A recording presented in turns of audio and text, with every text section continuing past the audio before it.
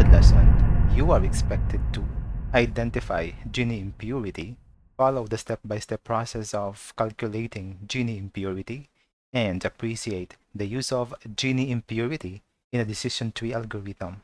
We have four ways of splitting our nodes, and today what we will have is the third way of splitting our nodes.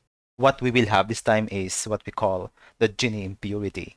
Just like the former two, Gini impurity performs in a binary split and it only works in categorical targets. I believe at this point we don't need to talk about what a categorical target is. Gini impurity is actually the most popular because it is the easiest method of splitting a decision tree. So what then is the Gini impurity value? So your Gini impurity value can be computed using this formula. So we have 1 minus gain. Gain here anyway is also what we call the Gini. So with this thing being said, maybe you would want to ask me, what is then a Gini? So Gini can be best explained using the following terms. We do have a randomly chosen element. So for a certain set of values which are categorical, the elements are randomly chosen. And apart from being randomly chosen, they are also randomly labeled. And the labeling is actually based on the distribution of labels in the node. So for example, we have 1, 2, 3, 4, 5, 6, 7, 8, 9, 10, 11, 12, 13, 14, and so on and so forth.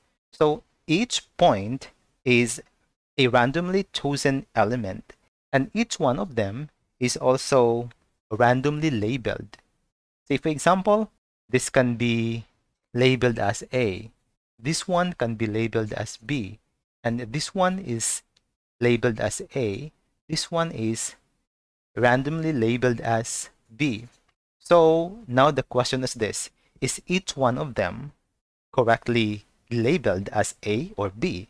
This kind of question is very significant and for us to be able to identify the correctness of labeling, we are going now to compute for the Gini, which is the probability of correctly labeling each one of them. So that is Gini. And the way to compute a Gini is this. So we have the summation of the squared probability of each element, which is the element i. And to compute for the Gini impurity, we have 1 minus the summation of the squared probability of each element. So what then would be the interpretation of the outcome, just like the former two that we have already studied, when we say Gini impurity and the outcome is lower, it means that there is a higher homogeneity of the different elements in a certain node. And when the outcome of our calculation is zero, it means that our node is very pure. And so for us to be able to properly understand how we compute this Gini impurity, we're going to do the computation. And if you could still remember the scenario wherein we identify the tendency of having a good weather and a bad weather.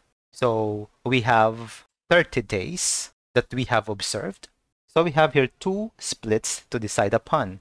We have the split on humidity and we have the split on temperature, which are our variables to be considered whether or not there would be a bad or a good weather. And so what we will do is we're going first to identify which between humidity and temperature would be the first split that we are going to. So remember that for both of them, of course, we do have 30 days.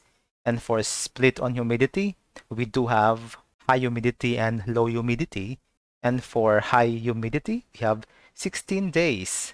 And the probability of high is 0.75 and that of low is 0.25. And for this part, which is the low humidity, we only have 14 days. The probability of high is only 0.29 and that of low is only 0.71. And after this humidity later on, what we are going to have for the computation is the split on the temperature. And also here in this case, we are considering 30 days. We have here two splits. We have hot and also we do have cold. So for hot temperature, we have 20 days for that. And the probability of high temperature or hot temperature is 0.9 and that of cold temperature is 0.1.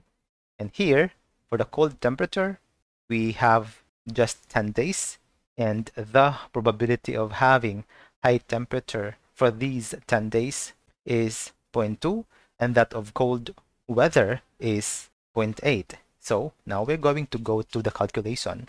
First, we're going to have the split on humidity. And so guys, in this case, we should not forget the process. We don't have to forget this one because this is actually very important.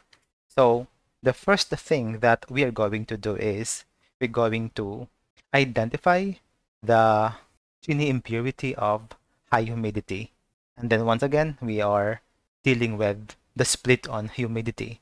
So remember that we have 0.75 for the high humidity and 0.25 for the low humidity. So basically what we do here is we just plug in the different values that we have seen in this case to the formula we have in here, right? So then what we have as a result a 0.375. And for the low humidity, we also follow the same process. And we are plugging in the values that we could see in here. And then we have this result 0.4118. And with these two values, what we're going to do next is we're going to get or calculate the weighted Gini impurity for both of them. Because we have 16 days for high humidity, what we will do is we're going to multiply 16 over 30, which is the total number of days, times 0.375, then plus this one to this one to, so 14 over 30 times 0.4118, and then we get 0.392. This is the result of the Gini impurity for the split on humidity. And now we will go to the split on temperature. Please remember that in the split on temperature, we have two nodes. We have the hot days and we have the cold days.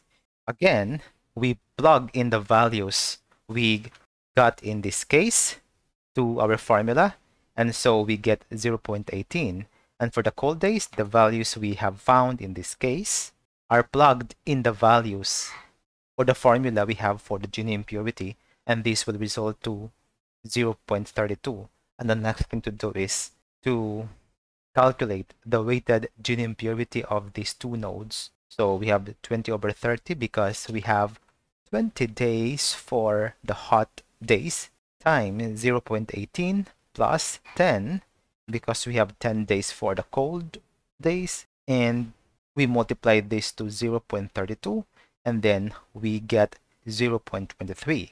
For us to decide which one between the split on temperature or the temperature and humidity will be first used for the splitting. What we will do is we're going to compare this value to this value in this case. So we have 0.392 and 0.23. So we've said that the lower Gini impurity means that there is a more homogeneous node. So between 0.23 and 0.392, 0.23 is lower. So this means that the split on temperature is more homogeneous than this split. So basically, we're going to use first temperature as our first variable to be split. What is this for? Why do we have to study this?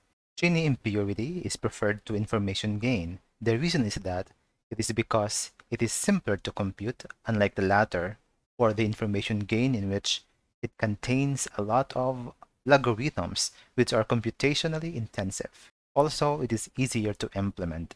After all being said and done, let's try this. What is Gini impurity? How do we identify which node to split using Gini impurity? Please don't forget to write your answers in the comment down below so that we would be able to have a very rich interaction of ideas and we can learn from each other. Do you want to know more about this channel? Just click these cards. We do have a lot of free data science courses for free like Machine Learning Essentials, Deep Learning Mathematics, and a lot more. Here, you can always learn an upskill for free.